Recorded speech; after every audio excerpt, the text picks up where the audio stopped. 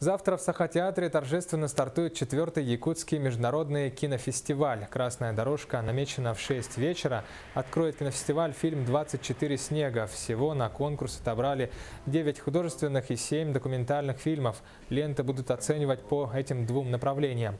Помимо конкурсной программы покажут 60 фильмов из 12 стран мира. Сеансы будут идти в кинотеатрах столицы бесплатно. Основное покажут в Сахатеатре до 21 августа.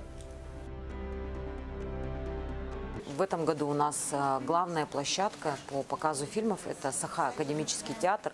И мы приглашаем всех зрителей, э, буквально начиная с 12 дня до э, позднего вечера у нас будут показаны и конкурсные фильмы, и внеконкурсные в обоих залах кинотеатра.